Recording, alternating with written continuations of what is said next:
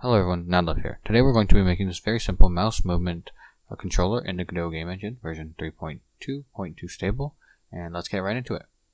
So right off the bat, you can see I have a game scene, which is just an empty node 2D, uh, followed by an instance player scene, and the way I instanced that scene was going up here to the chain, and I just clicked the player. I'm not going to do that because I already have it. And the way I got my instance scene is that I went over here to the plus sign, I made a new scene, I added a kinematic body 2D as the root node, I attached a default Godot sprite for ease of use, and the code for this is very simple. We only need four things. A variable for velocity, which is going to be equal to speed multiplied by direction, and optionally you can include delta. I did it just for the tutorial because it's just a very easy way to make your code run at the same speed on all computers. There will be a future video explaining this in much greater detail. Anyway, and our velocity vector, which is a product of these three things over here, or two things depending on whatever you want, is going to be passed inside of the move and slide function, which is a function given to the kinematic body 2D node. And I'll just show you. If I hop over into my uh, search help up here, search help, if I just hop over there and I control F, um, move and slide, there we go. You can see it's also over here, move and slide. And yeah, that's a lot, and yeah, that's a lot of text for such a small function, but it's really what allows Godot to be so powerful. You don't have to write the code for this, you just have to use it. And we're actually going to be setting the velocity equal to the result of this, which is detailed over here, that it just returns a linear velocity. The reason we're doing this is because it just helps our code run a little bit smoother and it helps the um, actual movement be smoother overall. And then, of course, we're going to be printing our velocity so we can see this. You don't need to include this line. I just put it so you can see uh, um, a special difference between these two lines of code over here in the future. And you're probably wondering, okay, so that's amazing, but I noticed that this dir over here, dir is short for direction, is blue and it's followed by parentheses. Why is that? Well, it's because dir is actually a function. You can see over here that we have function dir, or func func, which is short form for function, dir, brackets, arrow, vector 2. What does this mean? This looks like gibberish. This means that there's going to be a function called direction, which is going to return a vector 2. What does that mean? It means that when we call this function, it's going to produce a vector 2 which we can use. Okay, so that makes sense. So we're going to make a temporary variable called direction, and I'm purposely doing this because you can use similar names if you want, but this, whatever you call this doesn't matter. Like I could name this this, right? And I can put this everywhere in my code, and it will still work. As you can see, I'm running this exact same code, and it's still working. It doesn't matter what you call it. I just called it dir because it makes the most sense to call a direction dir, for me, at least. So after we declare a variable, we're going to make sure that we give it the type of vector 2. We're going to be setting our direction variable equal to the global mouse position subtracted by the global position of our kinematic body 2D. And we're going to do dot floor. I'll explain this.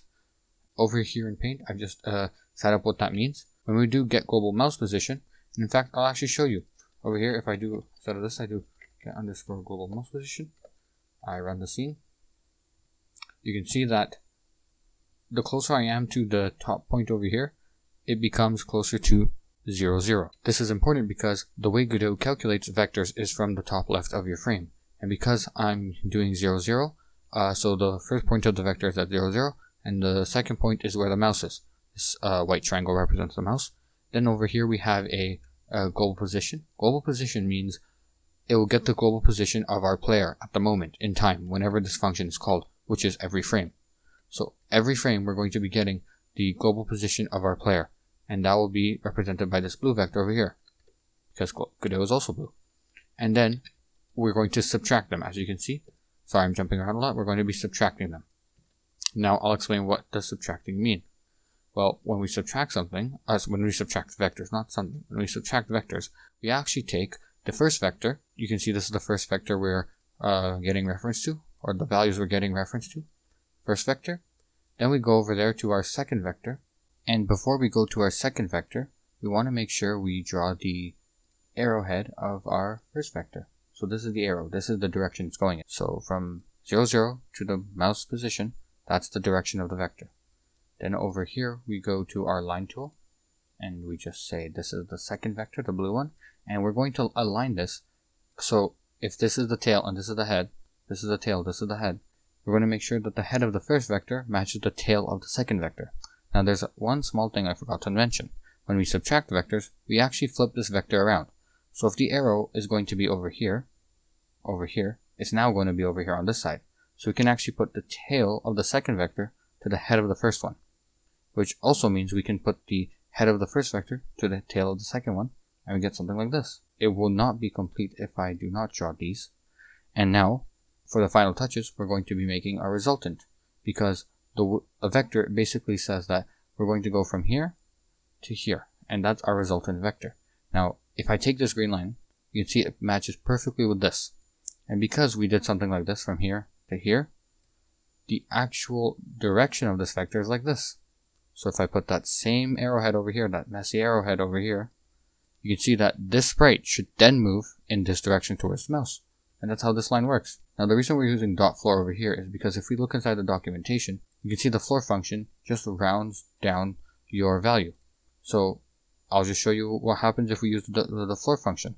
What happens is we get something like this. You see that these are all whole numbers.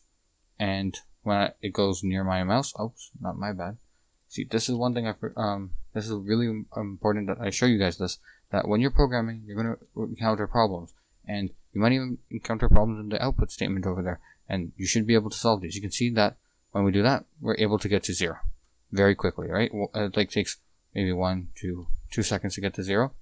But if we do not do dot floor, in fact, if we get rid of it and I run the scene again, you can see that we get, it takes like way more than two seconds to get to zero zero. And right now the computer is still processing all those numbers.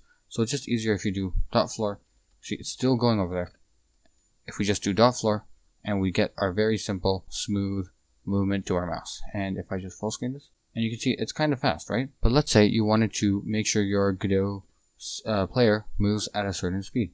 What we can then do, what we can then do is we can, after these uh, parentheses, after the dot floor, we can say dot clamped. This value can just be the speed at which you want your Godot uh, player to move. So if I do something like 10, of course it'll move very, very slowly, and you can see, you can see it's moving very, very slowly. Now, what does this mean for vector maths? Well, it actually means that, and I'm actually going to be using this yellow color over here to demonstrate, well, that when we do a dot clamped, it actually means that the value of that vector is going to be clamped to a value.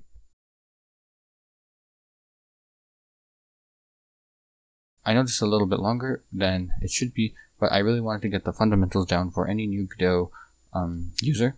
So yeah, that's all I have to say for this video. And of course, the um, source code is in is on GitHub. Uh, link in the description below. And that's all I have to say for this video. Have an amazing day.